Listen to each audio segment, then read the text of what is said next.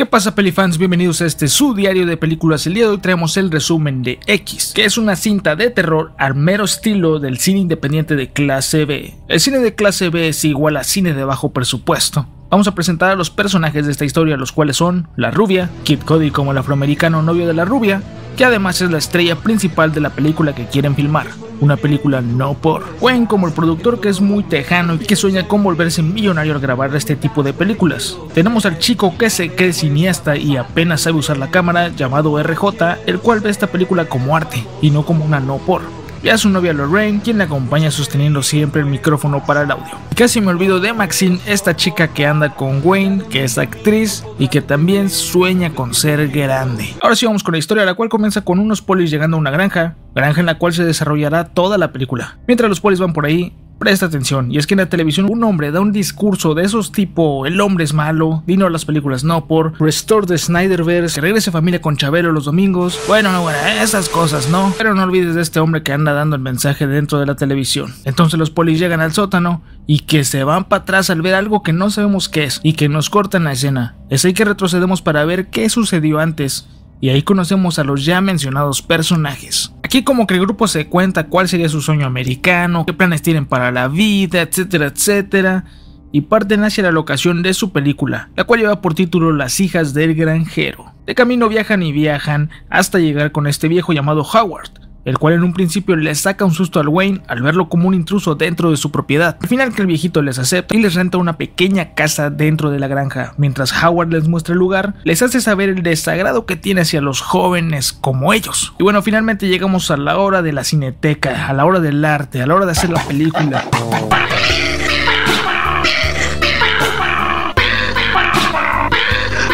Esta chica Maxine, que al igual que Wayne tiene delirios de ser una estrella y ese estilo de cosas. Porque entre ser y no ser, yo soy. Justo como lo ha dicho Teresa, la chica se va al río para nadar. Ahí que vemos que una mujer que se parece a tres dedos de camino hacia el terror le espía. No obstante, tenemos una escena que te hará comerte las uñas de los nervios, ya que en este río habita un cocodrilo parecido a Killer Croc.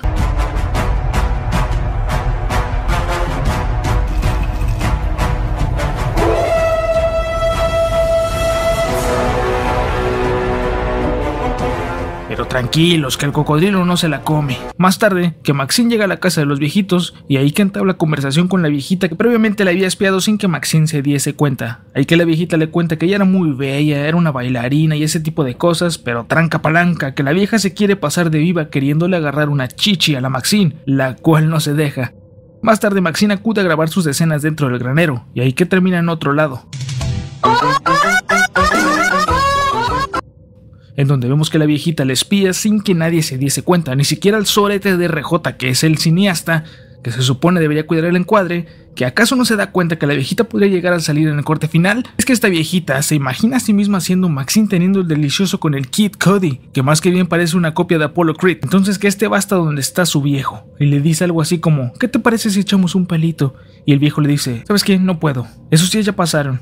Y hace tiempo que me cayó el secapalo, vieja. El fin, más tarde el grupo medio celebra y hablan un poco sobre los tabús sexuales y ese tipo de cosas que hay que vivir sin límites porque son jóvenes. Y hay que como que medio le meten la idea a Lorraine, la novia del camarógrafo, al ver que esta es medio estirada y cerrada a ciertos temas. Al final de cuentas, toda esta charla termina por meterle la idea a Lorraine y ella decide dejar de ser la chica del micrófono y ahora quiere participar en la película. Ahí que el RJ, todo un cineasta, tiene una conversación con Wayne, ya que está medio desacuerdo de que su chica vaya a aparecer en película y que tenga que compartir escena con Apollo Creed, pero al final Lorraine se avienta a grabar la escena con Kid Cody. Y todo está bien en un principio, pero ya estando a solas, el RJ se arrepiente de haber grabado a su propia novia con el Apollo Creed. Entonces este toma su dignidad y sale dispuesto a abandonar la película sin terminar. Toma la camioneta y en eso que respawna a la viejita de la nada. Entonces RJ de buena fe que le pregunta qué es lo que le pasa y ese tipo de cosas, hasta que la viejita intenta pasarse de cachona.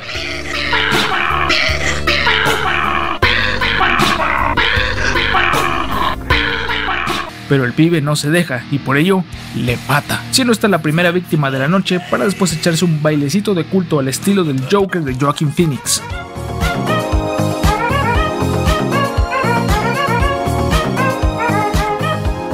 Preocupada por RJ, Lorraine sale a buscarle junto a Wayne, el cual no sé por qué no se dio el tiempo para buscar unos pantaloncillos, pero en fin, Ambos salen a buscar al RJ.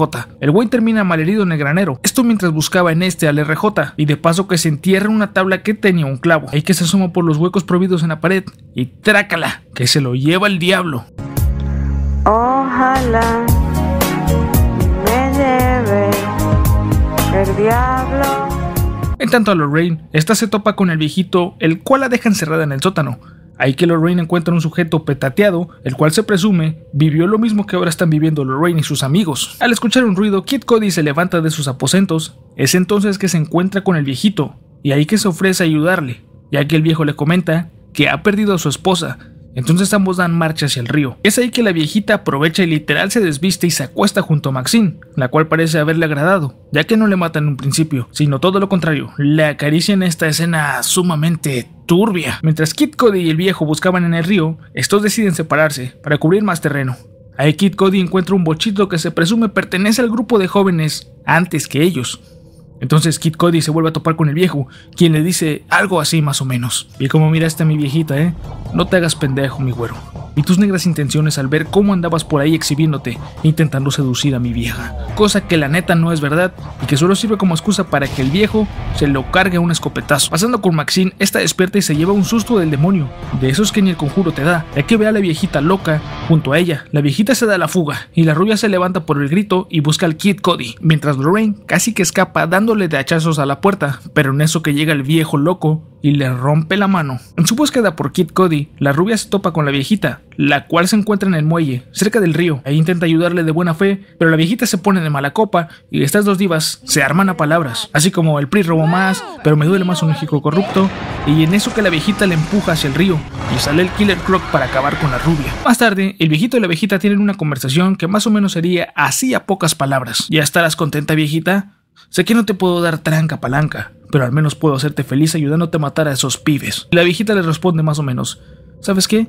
Dame para llevar sin miedo al éxito. Y el viejito le dice, pero si lo hago, ¿qué tal si me falla el corazón? Quedo a medio palenque. Nah, chinga su madre. Y que se lo avientan. Mientras esto pasa, Maxine se escabulle y logra llegar a la camioneta, pero está ponchada. Aprovecha a tomar el arma de Wayne, el cual había mencionado que llevaba un arma dentro de la guantera, y va hacia la casa y encuentra a Lorraine. Una vez libre, en vez de hacer lo más lógico y razonable, quedarse juntas y buscar cómo salir del lugar, Lorraine le echa la culpa, toma su orgullo y sale del lugar, vivita y colean. Bueno, ni viva ni coleando, ya que el viejito le dio tremendos soplamocos. Y mientras este arrastraba el cuerpo de Lorraine, que le da el mimiski y hace que el viejito se nos infarte. Dando la oportunidad, Maxine se dispone a acabar de una vez por todas con la viejita, pero en eso, que el revólver no tiene balas, y la viejita toma la escopeta y ¡zas!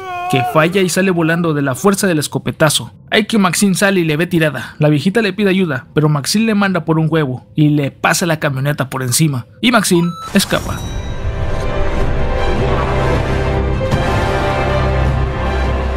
Y bueno, al final conectamos el inicio donde los polis ven toda la escena del crimen y recuerdan al hombre de la TV que hablaba sobre la salvación, pues resulta ser el padre de Maxine, quien tacha a su hija de ser una vergüenza al alejarse del camino de la salvación y todo este tipo de cosas. Uno de los polis encuentra la cámara que contiene la película no por y fin. Y bueno, que esta película es más un homenaje hacia el cine clase B, que tiene un poquito de comedia manchada, pero que toca ciertos temas como el contraste entre la juventud y los viejitos que ya pasaron ese tiempo y, prácticamente el título de esta película podría ser Una viejita se enoja porque no le pueden dar tranca palanca y por ello envidia a estos pibes que sí pueden hacerlo. Así de simple, de esto trata la película. Si te gustó este video no olvides suscribirte para más películas en este tu diario de películas. Nos vemos a la próxima.